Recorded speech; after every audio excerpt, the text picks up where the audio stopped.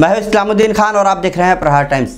मुमरा के रेती बंदर परिसर नगर सेवक विष्णुनाथ भगत ने वहीं के रहने वाले अप्पा राव, राम राव हिराल ने बताया है कि मैं खड़ा था इसी दौरान।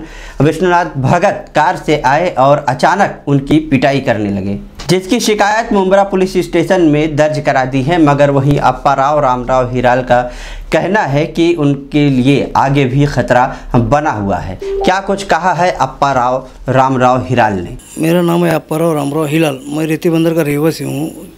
तो मैं उस दिन रोड पे खड़ा था। विश्वनाथ भगत हमारे यहाँ नगर सेवक आता है और डायरेक्ट मेरे को मारना चालू करता है। उनके साथ में आठ दस जन थे, डायरेक्ट मारना चालू किए। और मैं वहाँ से फिर पुलिस स्टेशन गया। क्या शिका उन्हें वहाँ पे मैंने दाखिल किया जाके उनके ऊपर। तो कोई ऑब्जेक्शन नहीं लिया वहाँ पे पुलिस अच्छा ये कितने दिन पहले की घटना है और आखिर क्यों मारे आपको? किस वजह से? डायरेक्ट आके मारे मेरे को। मैं वहाँ पे थोड़ा सा ये हो तो कुछ बताए नहीं डायरेक्ट मारे। बोले कि तेरे को देख लेंगे ये करेंगे वो करेंगे ऐसा धमकी दे के गए मेरे को तेरे को जान से मारेंगे। घटना कितनी तारीख की है? आपने कंप्लेन कब किया है? कंप्लेंट मैंने अठारह तारीख को किया हूँ। अठारह तारीख को कंप्लेंट किया हूँ। देखिए अठारह तारीख को कंप्लीट किया हूँ तो मेरे को ऐसा मालूम गिरा कि कल तो अठारह तारीख को आपने कंप्लेन किया है तो अभी तक पुलिस इस पर कुछ एक्शन ली या क्या कहा गया है आपसे? पुलिस ने अभी तक तो कुछ एक्शन नहीं लिया। उल्टा अभी चार दिन के बाद मालूम गिरा कि मेरे ऊपर ही उसने जाके गुना दाखिल किया है। किसने दाखिल किया? विशु भगत ने। तो ऐसा अभी वो मेरे को फंसाने का षड्यंत्र कर रहे हैं ना तो मैं एक ऐसा गरीब आदमी हूँ।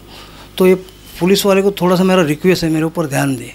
क्योंकि कल ये कुछ भी कर सकते किस चीज़ में फंसाने का आपको षड्यंत्र रच रहा है? क्या इसका जानकारी है आपके पास? क्या चीज़ प्लान चल रहा है? तो अभी आगे का बोल नहीं सकता वो कैसे बड़े आदमी कल कुछ भी कर सकते हैं मेरे को रास्ते में और मार सकते हैं नहीं तो दूसरे से मारवा सकते हैं। वहीं इस मुद्दे पर जब हमने विष्णुनाथ भगत से उनका पक्ष जानना चाहा तो कैमरे पर बोलने से मना कर दिया कहा मैंने भी अप्पा राव के खिलाफ पुलिस में शिकायत दर्ज कराई है और जो होगा कोर्ट में फैसला होगा। तमाम खबरों को जानने के लिए देखते रहिए प्रहार टाइम्स। ताज़ा तरीन खबरों के लिए हमारे यूट्यूब चैनल को सब्सक्राइब करें और बेल आइकॉन दबाना ना भूलें। अगर आप फेसबुक पर देखते हैं तो हमारे पेज को लाइक करें।